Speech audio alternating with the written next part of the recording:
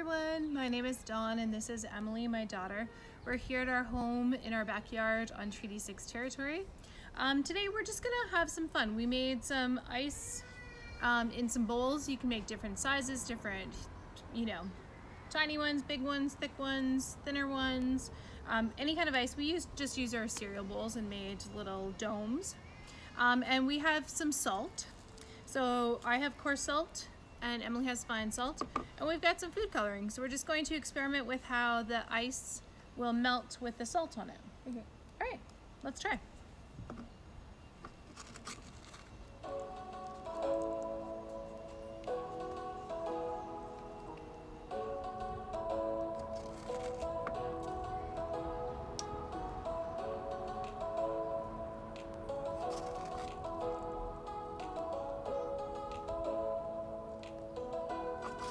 Sunshine. What are you gonna make? I'm gonna make like a zigzag I like that. That's a good idea. Do you think yours will melt faster than mine? I don't Or know. mine will melt faster? Can you like see it?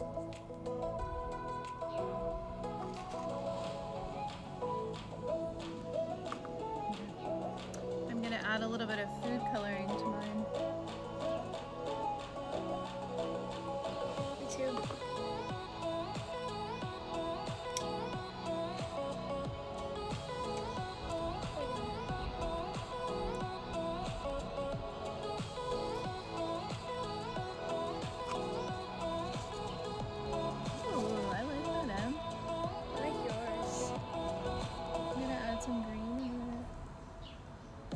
sunshine and then I colored it blue. Blue sunshine. Oh. flip this around. I can already see that my salt flakes have melted right into my ice. What are you gonna do? I'm just adding more to my lines. Another zigzag. I like your zigzag. Has yours started to melt? A little bit, yeah. Alright.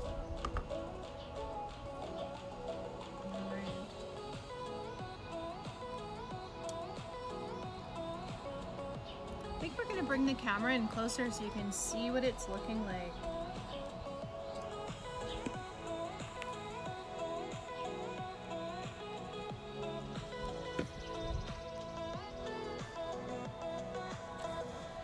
Not sure if you can see, but the salt has carved little crevices right into the ice.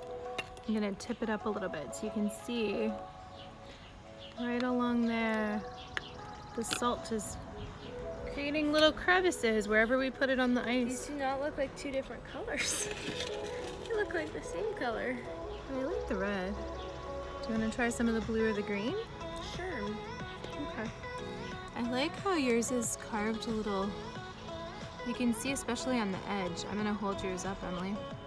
How it's carved little troughs in it. And the top is all, um, it's got a cool texture to it.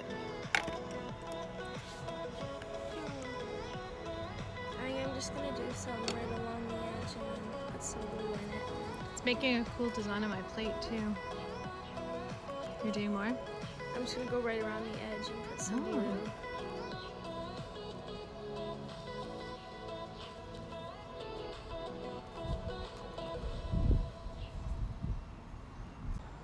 So it's been 20 minutes. We're just watching our uh, ice melt and trying different colors and different patterns. Emily flipped her ice over and made a different design on the back.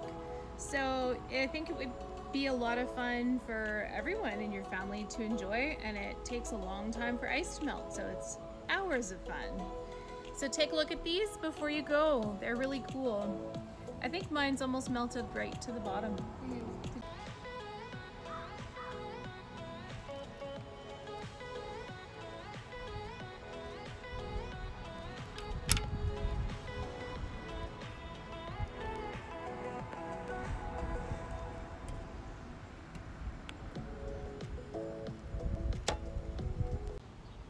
Science session with Anna. Hey everybody! So to start off today's science session, I'm going to share a super interesting fact that I think will be a great background for this experiment that you guys just watched. So I'm gonna say the fact and then I'll go in depth and just explain it for you guys. So did you guys know that the freezing point of water is actually the same as the melting point of ice? So that means when you put a water bottle that you want to freeze some ice in at the bottom into your freezer and that freezes, that's the freezing point. And when you take that water bottle out and you put it in a sunny spot and you start to see that liquid water come back, that's your melting point. So the freezing point of water and the melting point of ice is the same temperature and that temperature is 32 degrees Celsius. So that's super important to know. I love that fact. Great to know, 32 degrees Celsius. So I'm gonna explain the experiment now. So on top of the ice that we took out, there are actually little puddles of water that have not frozen yet. And we're gonna call that the surface of the ice or the film of the ice. So when we add the salt, the salt dissolves in that little film, that surface area, and creates some salt water. Now, salt water has a lower freezing temperature than ice, which means that it freezes a lot easier than our normal ice with no salt in it. So, as the ice is in contact with the salty water, it melts and you're getting more liquid water, which means more salt and a lower freezing point, which means we're gonna have a lower melting point. So when we take it out and we're putting it on top, it's melting a lot easier than a normal ice cube just would. So that's the chemistry behind the salt and ice experiment.